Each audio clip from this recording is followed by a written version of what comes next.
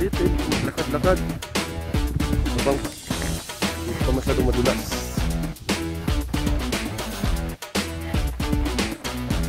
Kita niyo,